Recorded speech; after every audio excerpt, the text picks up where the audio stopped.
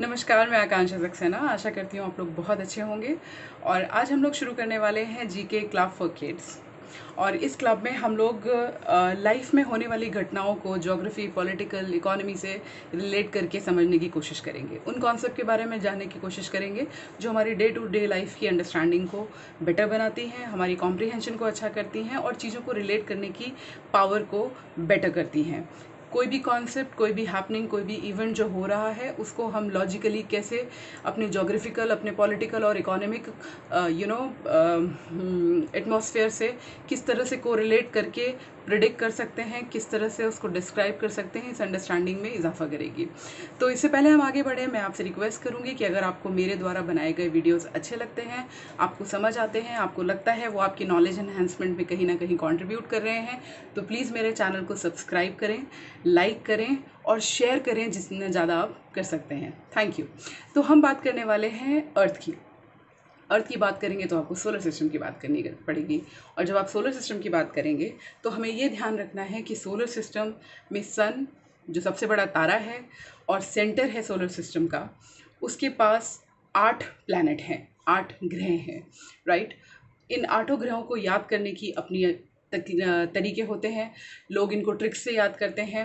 और कई बार कुछ चीज़ों को ट्रिक से याद करना ज़रूरी भी होता है, क्योंकि वो एक सीरियल में ही होती हैं और उनका सीरियल में ही याद करना हमारे बहुत सारे अंडरस्टैंडिंग के लिए इंपॉर्टेंट भी होता है। तो it is all your choice how you want do it मैंने इसको कैसे किया है? My very educated mother just gave us nine तो ये कई बार बच्चों के दिमाग में बैठ जाता है और फिर उन्हें कभी दिमाग लगाने की ज़रूरत नहीं पड़ती कि पहले क्या था और बाद में क्या था।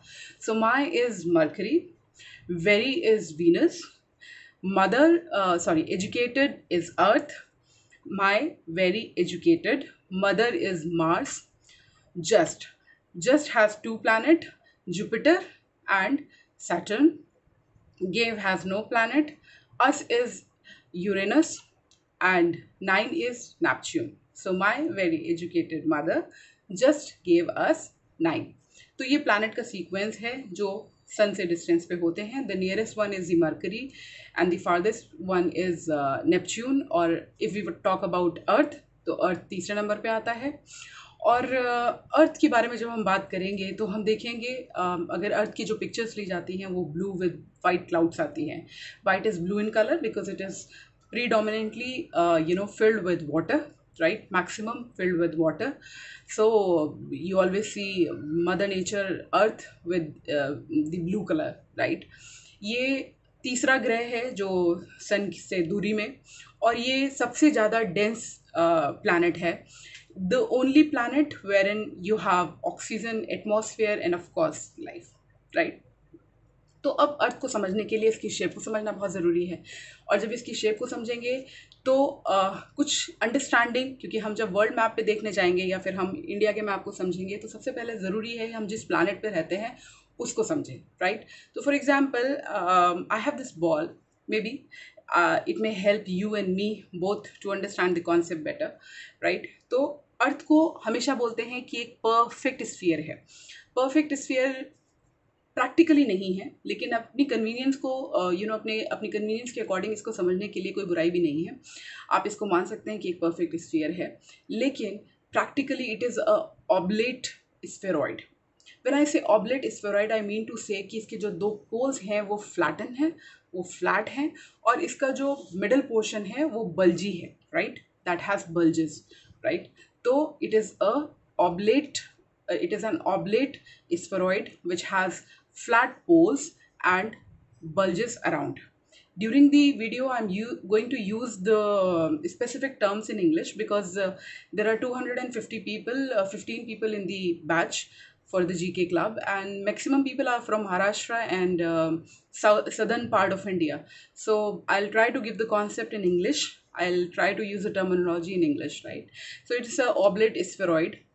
अगर इस स्फेरॉइड को आपको एक जियोमेट्रिक ग्रिड में कन्वर्ट करना है तो we need a system right और उस सिस्टम को डेवलप करने के लिए लॉन्गिट्यूड और लैटिट्यूड का सिस्टम डेवलप किया गया। अब लॉन्गिट्यूड और लैटिट्यूड क्या है?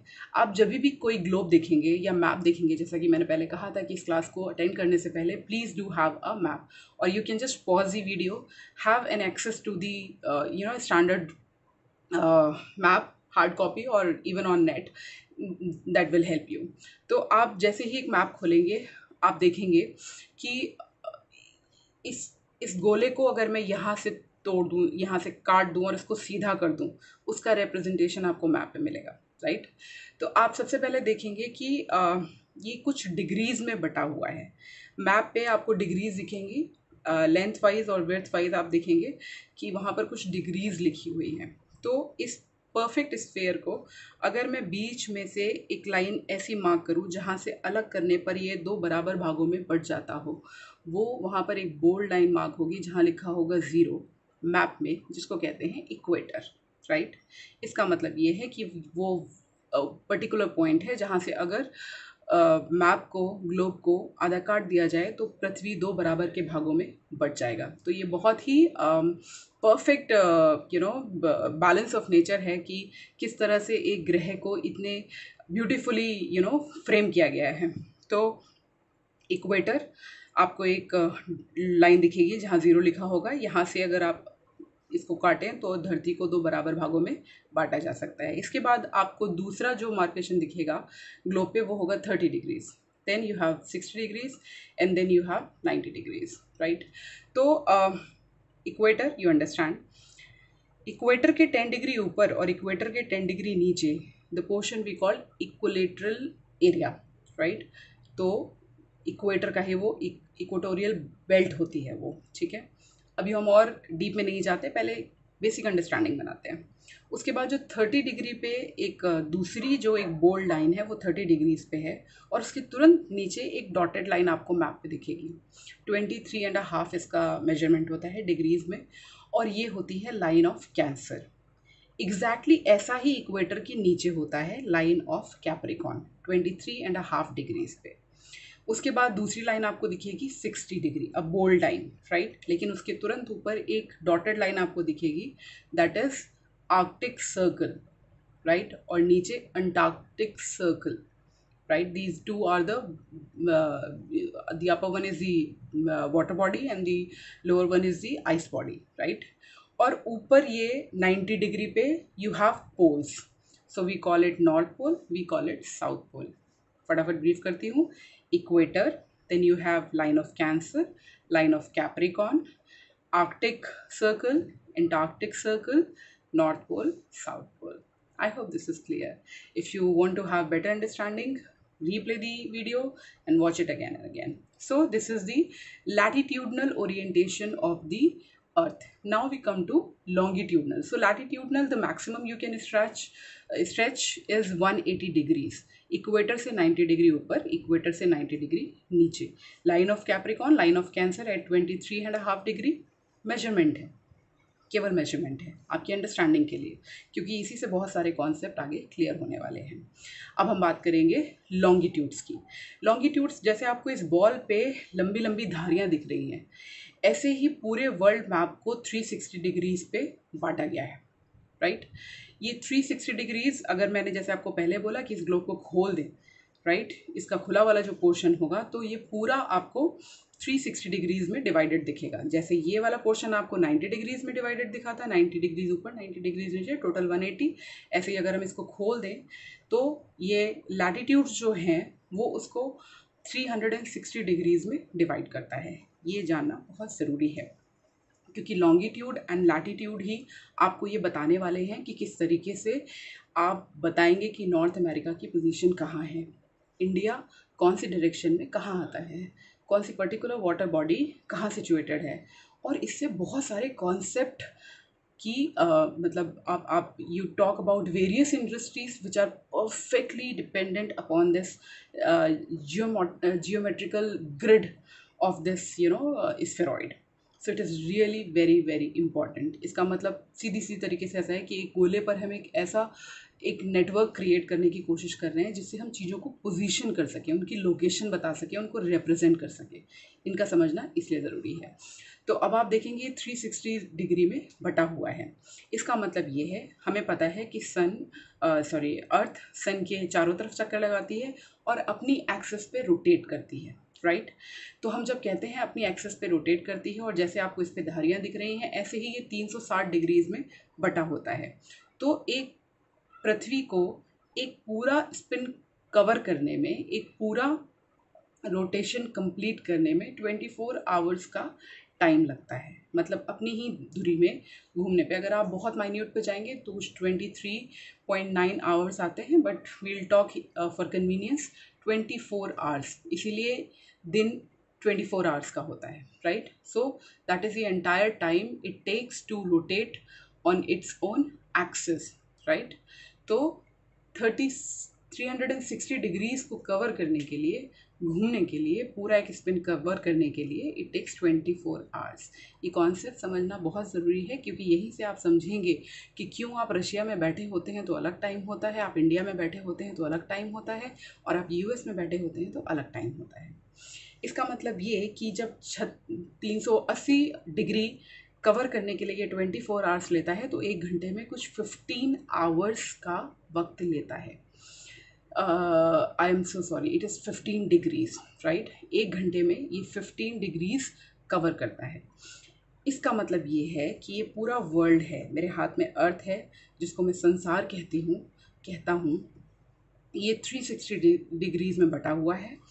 और पूरे अर्थ की अगर हम टाइम जोन की बात करें, क्योंकि मैंने कहा एक दिन चौबीस घंटे का होता है राइट तो वो हमारे लिए भी चौबीस घंटे का होता है, रशिया में बैठे व्यक्ति के लिए भी होता है यूएस में बैठे व्यक्ति के लिए भी होता है और यूके में बैठे व्यक्ति के लिए भी होता है।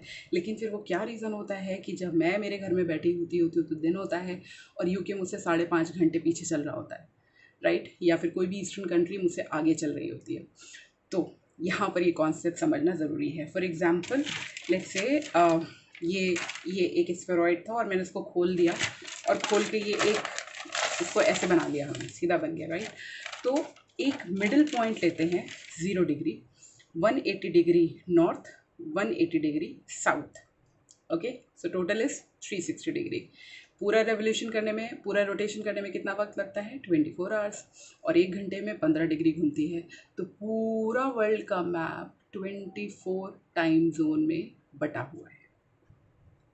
ट्वेंटी फोर टाइम जोन में बटा हुआ है। हर पंद्रह डिग्री पर एक टाइम जोन पंद्रह डिग्री वन टाइम जोन पंद्रह degree one time zone so total you have twenty four time zone which will tell you what is your local time which will tell you what is your standard G M T which will tell you how far और how behind you are from the G M T तो वो zero point जैसे हमने equator पे एक zero point लिया था, ऐसे ही वो ज़ीरो पॉइंट जहाँ से वन एटी डिग्रीज नॉर्थ और sorry one eighty degrees east और वन एटी डिग्री साउथ जाएगा। वो पॉइंट कहलाता है प्राइम मेरिडियन या G M T right Greenwich which mean time. That is a laboratory. I have personally seen it when i went to london. So, it's a green which mean time, जो बताता है कि इस point के बाद, इस zero point के बाद जो पैसिफिक ओशन में है, इस ज़ीरो पॉइंट के बाद 180 डिग्रीज ईस्ट अगर आप जाएँगे तो आप you will gain a day और अगर वेस्ट जाएँगे तो you will lose a day हमेशा ध्यान रखिए, अर्थ अपनी धुरी पे west to east anti clockwise rotation करती है। तो सन का जो भी रोटेशन होगा, उसके एंटी क्लॉकवाइज अर्थ अपना सॉरी सन को छोड़िए अर्थ जो है, वो एंटी क्लॉकवाइज रोटेशन करती है। तो आप जिस भी पोजीशन पे खड़े हैं, मान लीजिए आप इंडिया पे हैं, आप वहाँ पर अपने डिग्रीज देखेंगे और ज़ीरो से उस डिग्रीज का डिस्टेंस देखेंगे। तो जब मैंने आपको बताया कि पंद्रह डिग्री एक घंटे में चलते हैं तो मान लीजिए अगर आप ज़ीरो पॉइंट पे हैं और वहाँ से आप तीस डिग्री आगे हैं मतलब दो घंटा आगे होंगे। अगर आप उससे साठ डिग्री पीछे हैं, इसका मतलब आप चार घंटा पीछे हैं, जो भी स्टैंडर्ड टाइम चल रहा है उससे। ये आपको बहुत मदद करने वाला है। हमारी जो जीके की क्लास जो आज four thirty to six thirty है उसमें हम इसको और डिटेल में बात करेंगे राइट अभी आप बस कॉन्सेप्ट समझने की कोशिश करिए कि ये अर्थ है इसको latitude equator then your line of Cancer line of Capricorn Arctic circle Antarctic circle north pole south pole इसमें बांटा गया है। और जब हम लॉन्गिट्यूडनल की बात करें तो ये पूरा अर्थ थ्री सिक्सटी डिग्रीज में बटा हुआ है। इस पूरे अर्थ के एक स्पिन करने में around uh, twenty four hours का टाइम लगता है। एक घंटे में आप फिफ्टीन डिग्रीज को कवर करते हैं। दैट इज़ इट ये क्यों ज़रूरी है? क्योंकि जब हमें लैटिट्यूड और लॉन्गिट्यूड का ओरिएटेशन के बारे में पता होगा, तब हम एक पर्टिकुलर जगह के बारे में आपको बता पाएँगे कि कौन सा पर्टिकुलर कॉन्टिनेंट कहाँ पर लोकेटेड है। I hope that is clear right अभी इसके बारे में और डिटेल में बात करेंगे जब हम क्लास में आएँगे।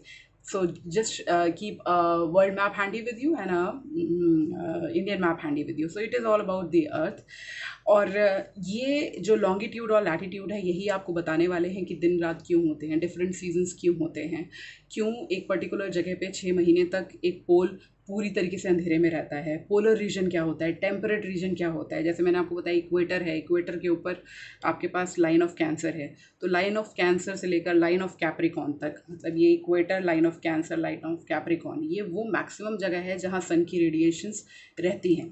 तो अब यहीं से आपको ये भी पता चलेगा कि वो जो देश, जो इस इक्वेटर और लाइन ऑफ़ कैंसर और लाइन ऑफ़ कैप्रिकॉन के बीच में वहाँ सबसे ज़्यादा गर्मी होती है। क्यों? क्योंकि मैक्सिमम पूरे साल में मैक्सिमम सनरेज इन्हीं में ही रोटेट्स कर इन्हीं में ही सोलर रेडिएशन देते हैं। नॉर्थ पोल और साउथ पोल पे सन का रेस नहीं पहुँच पाता, कम पहुँच पाता है। अलग तरीके के कॉन्सेप्ट है वो राइट तो आपको समझ में आएगा, क्यों अफ्रीका में लोग इतने काले होते हैं, आपको समझ में आएगा क्यों अफ्रीका में इतनी गर्मी होती है, क्यों लोग यू नो टेम्परेट जोन क्या होते हैं, क्यों अच्छा लगता है कि हम यूके जाएँ, यूके में हमेशा मौसम बहुत अच्छा क्यों रहता है, यूके में एकदम से बारिश कैसे आ जाती है, टेम्परेट जोन क्या होता है, क्योंकि देखिए जो पोलर रीजन है वो ठंडी ठंडी हवा, बर्फ़ देगा, और जो इक्वेटर है वो बहुत गर्मी देगा, और इन दोनों के बीच का जो एरिया होगा वो होगा टेम्परेट जोन टेम्परेट जोन वैसे तो कहते हैं कि बहुत अच्छा होता है, लेकिन आइडली ये सबसे ज़्यादा इनस्टेबल होता है। कभी भी ऊपर की सर्दी मार सकती है और कभी भी नीचे की गर्मी जला सकती है। Right? So there are lot many concepts based on this latitude and longitudinal orientation and we really need to understand. Right? तो ये एक मोटे तौर पे अर्थ का ओरिएंटेशन मैंने आपको दिया। Now we'll come to world map right तो वर्ल्ड मैप पे आप जब देखेंगे तो एक कॉन्टिनेंटल um, ड्रिफ्ट का एक कॉन्सेप्ट है। कॉन्टिनेंटल ड्रिफ्ट ये कहता है कि 1912 में um, एक वैज्ञानिक ने ये बात बोली कि पहले ये सब कॉन्टिनेंट्स अलग अलग नहीं थे। ये पूरा एक पेंजिया था। Right right? लेकिन कुछ कन्वेंशनल फोर्सेस जैसे हमारी जो अर्थ है, उसकी अपनी एक यू नो बनावट है क्रस्ट मेंटल कोर ये तीन लेयर हैं और उन तीनों लेयर में अपनी अपनी कॉम्पोजिशन है। कुछ बिल्कुल मॉल्टेड आयरन के फॉर्म में है, जिस, कुछ धातु किसी में ज़्यादा है, कम है और इनमें इंटरनल प्रोसेसेस चलते रहते हैं राइट तो कन्वेंशनल प्रोसेसेस के चलते कन्वेंशनल प्रेशर्स के रहते, ये इन पे प्रेशर पड़ा। और ये पेंजिया जो है वो टूटा। टूटा और अलग हुआ और डिफरेंट डिफरेंट कॉन्टिनेंट्स में बन गया। तो एशिया और यूरोप, ये सब पहले एक ही पार्ट था, इसीलिए इसको यूरेशिया भी कहते हैं राइट लेकिन क्योंकि कॉन्टिनेंटल ड्रिफ्ट जो थ्योरी है, वो ये बताती है कि पृथ्वी के अंदर चलने वाले प्रोसेस की वजह से ये ड्रिफ्टिंग हुई, ये अलग हुए। और आज की डेट में हमारे पास टोटल सेवन कॉन्टिनेंट्स हैं। तो इन सेवन कॉन्टिनेंट्स को समझने के लिए आप मैप मैप पे देखिए और मेरे हाथ के थ्रू इसको समझने की कोशिश करिए। तो direction we already know north south east and west right आप अपने हिसाब से अपनी तरफ़ से करिए। तो uh, हम देखेंगे कि वर्ल्ड मैप पे first of all North America South America Europe Africa Asia Australia Antarctica right इसको फ्रेम को दिमाग में रखिए। North America, South America. बिल्कुल नॉर्थ अमेरिका के नीचे साउथ अमेरिका है।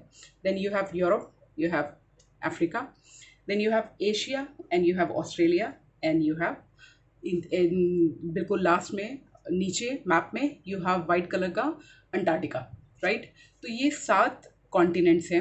और आप देखेंगे ये सातों कॉन्टिनेंट वाटर बॉडी के थ्रू अलग हैं। जैसे मैंने आपको बताया, ये सब एक थे। जब अलग हो गए तो बीच में पानी आ गया ओशंस आ गए राइट तो आप देखेंगे नॉर्थ अमेरिका और साउथ अमेरिका और उसके बाद यूरोप और अफ्रीका। इनके बीच में है Atlantic ocean right North America और साउथ अमेरिका के लेफ़्ट हैंड साइड में है पैसिफिक ओशन और जब आप यहाँ पर आएँगे एशिया और ऑस्ट्रेलिया की बात करेंगे तो इनके बीच में है आपका Indian ocean right southern ocean right and the biggest is the Pacific ocean right तो ये हम जब वाटर बॉडीज़ के बारे में बात करेंगे तो भी उसके बारे में डिटेल में हम क्लास में बात कर पाएँगे। अभी आपको केवल एक मोटे मोटे तौर पे समझना है कि कैसे वर्ल्ड को सात कॉन्टिनेंट और वाटर बॉडीज़ में डिवाइड किया हुआ है। So now we'll just talk about the largest population wise and population wise and the area wise सबसे बड़ा जो कॉन्टिनेंट है वो है एशिया और हम एशिया का पार्ट है being Indian country called India is a part of Asian country right तो सबसे बड़ा जो कॉन्टिनेंट है वो एशिया है, चाहे वो पॉपुलेशन हो, चाहे वो एरिया वाइज हो राइट right? सबसे छोटा जो कॉन्टिनेंट है area wise that is Australia right और सबसे छोटा population wise is Antarctica. Antarctica क्यों? क्योंकि it is completely filled with ice यहाँ पर केवल और केवल आपको रिसर्च स्टेशंस मिलते हैं। यहाँ लोग नहीं रहते, यहाँ लोग केवल रिसर्च के लिए क्यूब्स में जाते हैं, काम करते हैं रिसर्चेस करते हैं बायोम्स पे काम करते हैं और रिपोर्टिंग का काम करते हैं।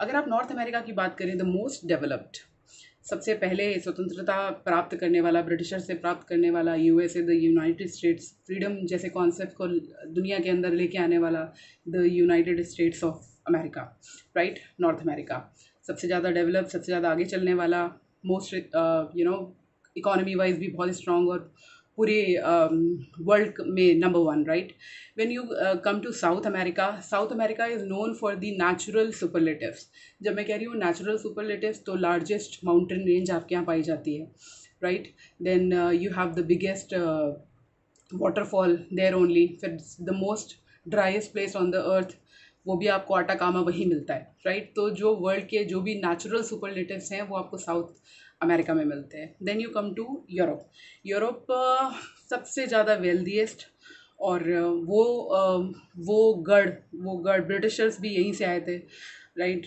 तो ये सबसे ज़्यादा वेल्दीएस्ट और बहुत रॉयल कल्चर uh, और ट्रेडिशन के लिए समझा जाता है जाना जाता है। Then you come to Africa Africa is the only continent which has maximum you know countries 54 countries right the best quality of diamond you get from Africa only right और अफ्रीका को ही आप क्रेडल ऑफ़ ह्यूमन काइंड कहते हैं। क्यों कहते हैं? क्योंकि जो स्कल और ह्यूमन बॉडी के जो वो थे पार्ट्स थे, वो सबसे पहले आपको अफ्रीका से ही मिले राइट right? अब आप आ जाएँ एशिया पे। तो एशिया द लार्जेस्ट और यहाँ पर तेईस सौ से ज़्यादा भाषाएँ बोली जाती हैं। पूरे विश्व में सबसे ज़्यादा बोली जाने वाली बोली जो मैंडरन है, वो यहीं पाई जाती है। रीज़न उसका ये है कि चीन is the most populous country right सबसे ज़्यादा पॉपुलेशन जहाँ की होगी, वहीं के सबसे ज़्यादा लोग बोलेंगे और उनकी जो अपनी भाषा है, वो है Mandarin right so there is a logic behind then you come to this Australia the smallest one सबसे छोटी right and Antarctica I have already told you कि ये वो जगह है जो कम्प्लीटली फिल्ड विद आइस है। A quick orientation to the world map is done now we will come to India India मैंने आपको बताया एशिया का पार्ट है सबसे नीचे बिल्कुल अलग से डिमार्केशन में दिखता है क्योंकि वाटर से घिरा हुआ है इंडिया इंडियन ओशन से घिरा आप देखेंगे नीचे आपको दिखेगा। तो एक पेनिनसुला है India is a peninsula peninsula is is a continent which is filled with ice from three side right तो आप देखिए नीचे से uh, अगर आप इंडिया का मैप देखेंगे तो आप देखेंगे कि नॉर्थ uh, में you have east north, south, east, west, right? तो आप देखेंगे ऊपर नॉर्थ में आपके पास पाकिस्तान, अफ़गानिस्तान, तजाकिस्तान है और उसके तुरंत नीचे आपके पास अरेबियन सी है। फिर नीचे आएँगे साउथ में तो श्रीलंका और नीचे आपके पास इंडियन ओशन। लेफ़्ट में जाएँगे तो बे ऑफ़ बंगाल, ऊपर बांग्लादेश। साइड में जहाँ बांग्लादेश के पास, आपके पास नॉर्थ ईस्ट है, उसके बाद म्यांमार और ऊपर जाएँगे तो आपको नेपाल, चाइना और Bhutan right so these are the neighbouring countries we have ये सब आप जब मैप को देखेंगे और समझेंगे, सच मानिए एक बार आपने अगर इंटरेस्ट ले लिया ना तो आपको हर चीज़ इतनी ये ये किसी भी पज़ल गेम से बहुत अच्छा है। To understand your you know geography to understand the geographical orientation India जब भी हम फ़िज़िकल मैप की बात करते हैं तो physical map will tell you the topography of that particular place और जब हम पॉलिटिकल uh, मैप की बात कर रहे हैं that tells you the administrative body of that particular area so there is a difference right तो today we will cover India and today will cover world and this is all about it I think this is it ये केवल एक orientation था जो भी हम geography में करने वाले हैं। और बाकी हम क्लास में और इसको एक्सटेंड करेंगे।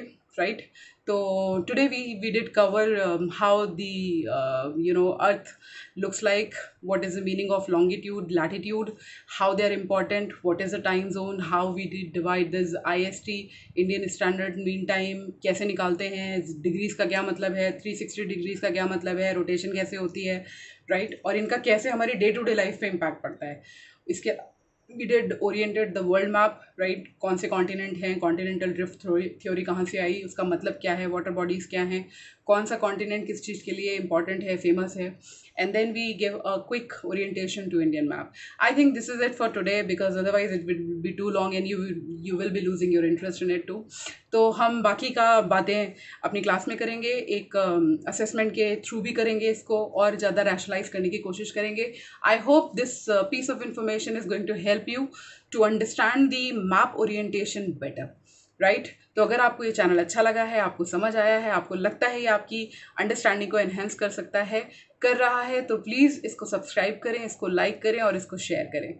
फिर मिलेंगे दूसरे वीडियो में, दूसरी क्लास में, तब तक के लिए नमस्कार। Thank you so very much stay home stay happy stay calm take care